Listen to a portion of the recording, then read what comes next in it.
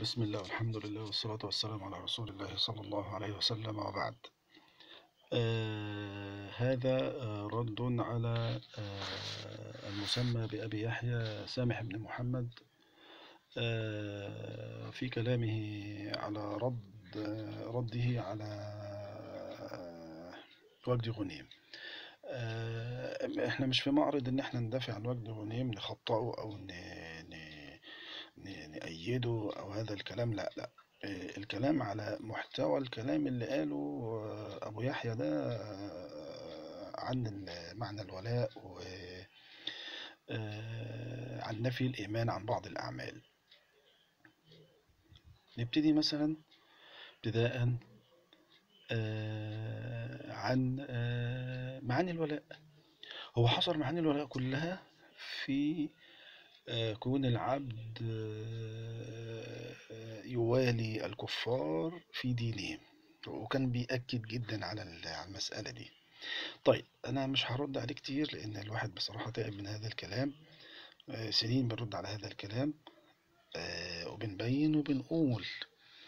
طيب أولا هو يعني من ضمن الاستدلال اللي استدل بيها قول السعدي آه، في كتابه القواعد الحسان. آه، فالنهي واقع على التولي والمحبة لأجل الدين. طيب ماشي. هذا كلام مشكل. يعني إيه النهي واقع على التولي والمحبة لأجل الدين؟ نفهم. عايزين نفهم كلام السعدي اللي فيه إشكال ده. آه نفهمه إزاي؟ طيب نرد كلام السعدي للتفسير. شوف تفسيره في الآية قال إيه؟ طيب بص على كلام السعدي في التفسير. ها؟ بسم الله الرحمن الرحيم. في تفسير سورة الممتحنة. بيقول إيه السعدي طيب. بص يا سيدي. بيقول لا ينهاكم الله عن الذين لم يقاتلوكم في الدين. اسمع وانتبه. قول الله عز وجل فسر نفسه أصلا. ربنا عز وجل بيتكلم عن الناس اللي بيقاتلونا إحنا في الدين. لا ينهاكم الله عن الذين لم يقاتلوكم في الدين. قاتلونا إحنا في الدين. ولم يخرجوكم من دياركم أن تبروهم وتقسطوا إليهم. إن الله يحب المقسطين. إنما ينهاكم الله عن الذين قاتلوكم في الدين. ها يبقى هو الايه ها، يبقى ال- الدين بتاعنا إحنا. قاتلونا في ديننا إحنا. طيب تعال نشوف التفسير السعدي بيقول إيه؟ طيب بيقول إيه؟ لا ينهاكم الله عن الذين لم يقاتلوكم في الدين ولم يخرجوكم من دياركم أن تبروهم وتقسطوا إليهم. إن الله يحب المقسطين أي لا ينهاكم الله عن البر والصلة والمكافأة بالمعروف والقسط للمشركين من أقاربكم وغيرهم حيث كانوا بحال لم ينتصبوا لقتالكم في الدين والإخراج من دياركم. فليس عليكم جناح أن تصلوهم. إلى آخر الكلام في تفسير هذه الآية طيب وقال إنما ينهاكم الله عن الذين قاتلوكم في الدين أي لأجل دينكم عداوة لدين الله ولمن قام به. تمام؟ هم بيعدو بيعدوكم من أجل دينكم ولمن قام بهذا الدين. طيب وأخرجوكم من دياركم وظاهروا يعني عاونوا غيرهم على إخراجكم. طيب نهاكم الله أن تولوهم بالمودة والنصرة بالقول والفعل. هو لم يذكر هنا أن إحنا نتولهم في دينهم بل هم يقاتلوننا نحن من أجل الدين. طيب وأما بركم وإحسانكم الذي ليس بتولي للمشركين فلم ينهكم الله عنه بل ذلك داخل في عموم الأمر بالإحسان إلى الأقارب وغيرهم من الآدميين وغيرهم. ومن يتولهم فأولئك هم الظالمون وذلك الظلم يكون بحسب التولي. تمام؟ يكون هذا الظلم بحسب الإيه؟ التولي. فإن كان توليا تاما صار ذلك كفرا مخرجا من الملة. توليا تاما لأن هو ال- السعدي مذهبه في مسألة التولي أنه لا يفرق بين الموالاة وبين التولي. بخلاف غيره من أهل العلم ففرقوا بين الموالاة وبين التولي. طيب فقال إن كان توليا تاما صار ذلك كفرا مخرجا من الملة عايز تعرف يعني إيه توليا تاما؟ اخرج بقى وشوف أقوال أهل العلم. طيب صار ذلك كفرا مخرجا عن دائرة الإسلام وتحت ذلك من المراتب ما هو غليظ وما هو دون ذلك. آه حسب التولي يبقى هو عنده التولي إما تولي كامل تام أو تولي ناقص. التولي التام يخرج من الملة. طيب لو تولي ناقص هذا التولي الناقص إما أن يقترب من درجة الكفر وإما أن يكون معصية كبيرة من الكبائر كما فعله حاطب. هذا نوع من أنواع الإيه الإيجاز في هذا الكلام. يبقى كلامه على كلام الشيخ السعدي أنهم يقاتلوهم لا ينهاكم الله أنه يواقع على التولي والمحبة لأجل الدين يبقى هو بيتكلم على إن, إن الكفار هم اللي ال ال ال إحنا ما نوليهمش ولا نحبهم طالما إن هم بيقاتلون في ديننا. ومنهم من يظاهر أو أو هم هؤلاء الكفار يظاهرون من يقاتلنا في ديننا أو على ديننا. تمام؟ وليس الكلام موجه لنا أننا نواليهم من أجل دينهم. هو هو هو هو يعني جمع المسألة كلها أو حصر المسألة كلها بتاعت التولي في مسألة التولي على الدين. طبعا ده غلط. طيب ده بالنسبة لمسألة التولي. قيس بقى كلامه بقى وشوف كلامه بقى إيه اللي نقله عن أهل العلم شوفهم هم مقصود بيهم إيه مقصود بيهم في بي في المسألة دي إيه. وعشان تحل المسألة دي لازم تجيب كل أطراف الأدلة عشان تبقى منصف. سيبك مني وسيبك منه هو. يعني عشان تبقى منصف أنا برد عليه هو في هذا الكلام. طيب طب دي مسألة. المسألة التانية إنه بيقول إن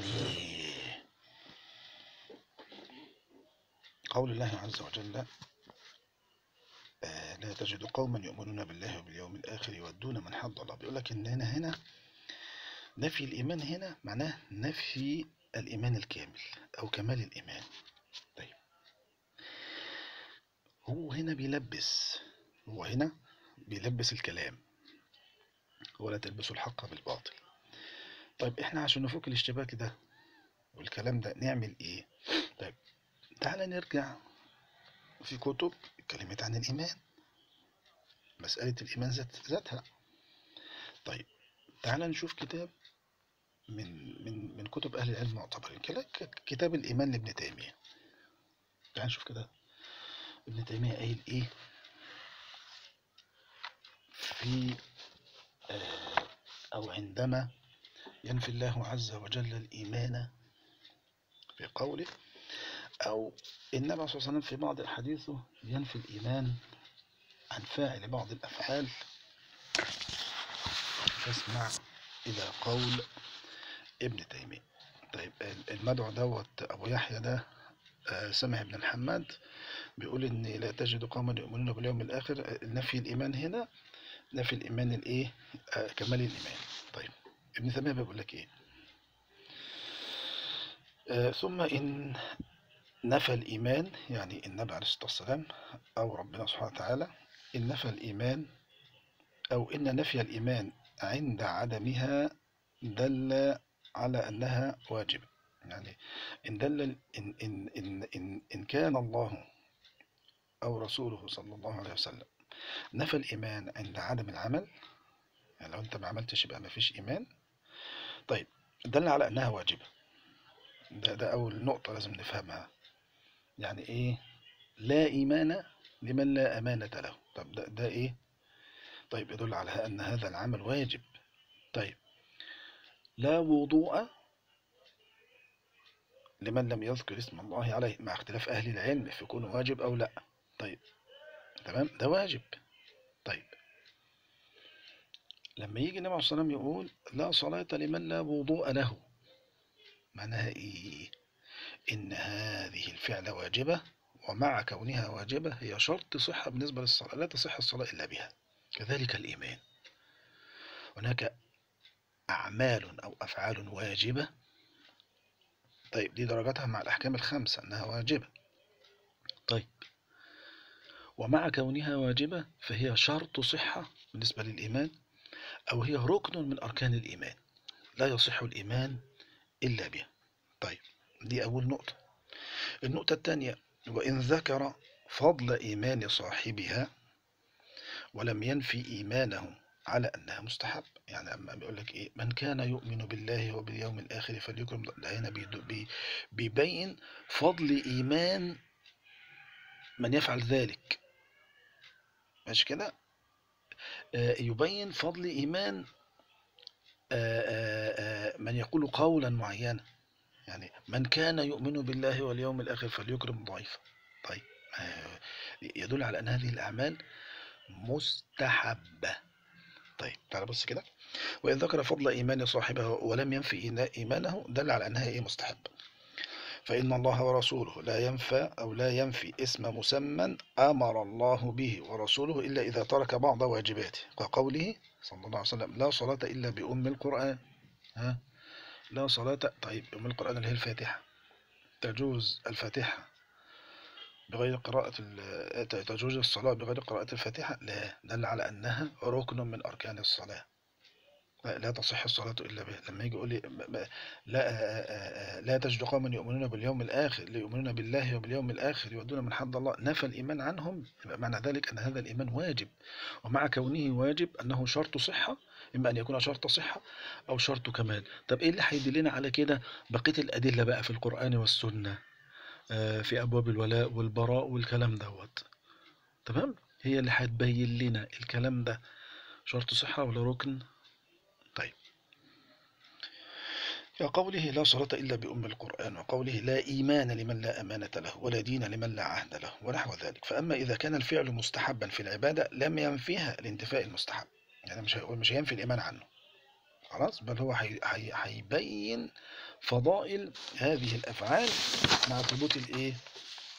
الإيمان. خلاص؟ طيب. بيقول ابن تيمية برضه فأما إذا كان الفعل مستحبا في العبادة لم ينفيها الانتفاء المستحب فإن هذا لو جاز أن ي... لو لو جاز لجاز أن ينفي عن جمهور المؤمنين اسم الإيمان والصلاة والزكاة والحج لأنه ما من عمل إلا وغيره أفضل منه. وليس أحد يفعل أفعال البر مثل ما فعلها النبي صلى الله عليه وسلم بل ولا أبو بكر ولا عمر. فلو كان من لم يأتي بكمالها المستحب هو كان بيقول لك كمال. ولا ذكر بقى ولا كمال واجب ولا كمال مستحب. طيب فلو كان من لم يأتي بكمالها المستحب يجوز نفيها أو نفيها عنه لجاز أن ينفي عن جمهور المسلمين من الأولين والآخرين وهذا لا يقوله عاقل. فمن قال إن النفي هو الكمال آه هنا بقى هو قال هنا إيه في الش... في, ال... في الكلام بتاع اليوتيوب النفي هو الكمال نفي كمال. قال لك أنا هلزمك بأمور. هنا نفي الكمال في الآية لأن أنا هلزمك بأمور. وراح قاعد يسرد كده شوية كلام وسرد بعض أقوال النبي عليه الصلاة والسلام. طيب ابن تيمية بيقول لك إيه فمن قال إن نفي الكمال هو أو إن النفي هو نفي الكمال فإن أراد أنه نفى الكمال الذي يذم تاركه خد بالك كمال يذم تاركه ويتعرض للعقوبة فقد ده إيه الكمال ده ده يدل على أن فعل واجبة. هو ده هو ده المعنى في الواجب يذم تاركه ويتعرض للعقوبة. طيب فقد صدق. وإن أراد أنه نفي الكلام المستحب يعني هو بيتم كلام إيه؟ كمال إيه؟ كمال مستحب. فهذا لم يقع قط في كلام الله ورسوله. ولا يجوز أن يقع فإن من فعل الواجب كما وجب عليه ولم ينتقص من واجبه شيئا لم يجوز أن يقال ما فعلته لا حقيقة ولا مجازا. فإذا قال للأعراب المسيء في صلاته ارجع فصلي فإنك لم تصلي وقال لمن صلى خلف الصف وقد أمره بالإعادة لا صلاة لفذ خلف الصف كان لترك واجب. وكذلك قوله تعالى إنما المؤمنون الذين آمنوا بالله ورسوله ثم لم يرتابوا وجاهدوا بأموالهم وأنفسهم في سبيل الله أولئك هم الصادقون.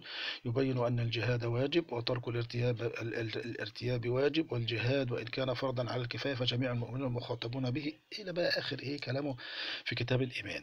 طيب الآية اللي هو ذكرها ابن تيمية دي تدل على أن هذه الأفعال واجبة. ولم يأتي من كتاب الله ولا سنة النبي صلى الله عليه وسلم أنها أن, أن من تركها فقد كفر. لا لا لا هي واجبة.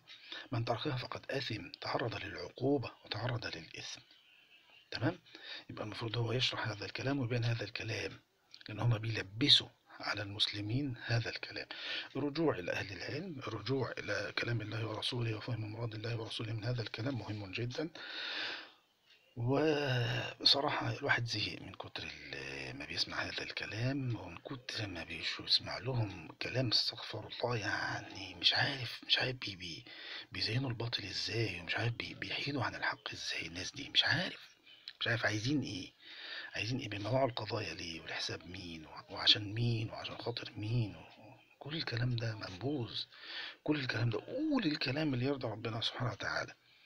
ما تحورش الكلام عشان ما يبقى يبقى على مزاجك انت وعلى مزاج معتقدك الخاص.